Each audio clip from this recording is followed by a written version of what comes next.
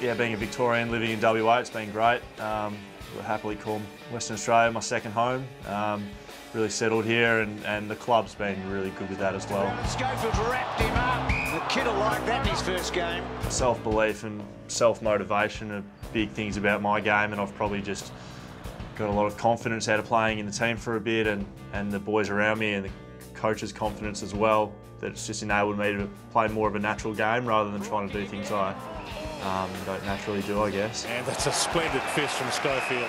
When Dad passed away, um, it, it, sort of it doesn't really put things in perspective because you know that's life. People pass away, and um, you know I was really sad at the time, and um, I feel like Dad's always with me, and, and I was kind of pretty realistic that um, you know things like that happen sometimes, and it's just given me some, I guess, a bit of momentum. And um, instead of Dad sitting at home on the couch yelling at the TV, he's sitting above me yelling down from above. So it kind of gives you a bit of motivation when times get tough. Um, it's happened a couple couple of times already this year. I've sort of felt like uh, saying, "Can't Dad give us something extra?" Hawthorn game was a prime example. Uh, last quarter it was really tight, and I remember asking for something, and uh, a few little bounces went our way. So hopefully it's a nice little omen for us, and got a 23rd man on the ground while we're out there.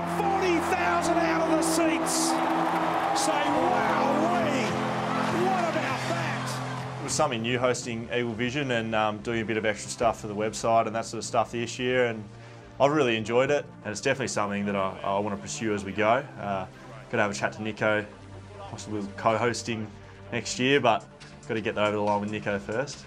I know he likes the limelight. That's a goal. I'm a backman, and goals don't come often enough to be keeping it quiet when I kick goals. So I guess uh, I should really be throwing out to the fans, you know, what celebrations I should be doing, and I'm happy for, for any uh, suggestions. But I don't know, who's not happy when they kick a goal, especially if you run down half the wing and kick it. He might fancy himself here, all the way from defence. It was worth a goal. Stand up and applaud that one. Will Schofield. Advice I give kids aspiring to be AFL footballers is spend a lot of time on your strengths because everyone's got weaknesses, and although you have to try and improve your weaknesses, what gets you drafted and then what gets you playing good footy is how you bring your strengths to the team.